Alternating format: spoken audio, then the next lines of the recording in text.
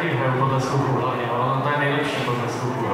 Samozřejmě každý ten sluch má trošku jiný, ale potom ty noty eh, nebo nějaký systém toho zápisu, té písničky je dobrý, když eh, vlastně pro to samostudio, pro tu přípravu, eh, když třeba něco chci vysvětlit a tak ty noty jsou, nebo ne přímo noty, ale ten zápis, tak je dobrý. No. Jako výpomoc, když pak jsou třeba těžší, těžší skladby, které se těžko jako pamatují jenom z odkoukání nějakého videa, tak, tak jako z poslouchání.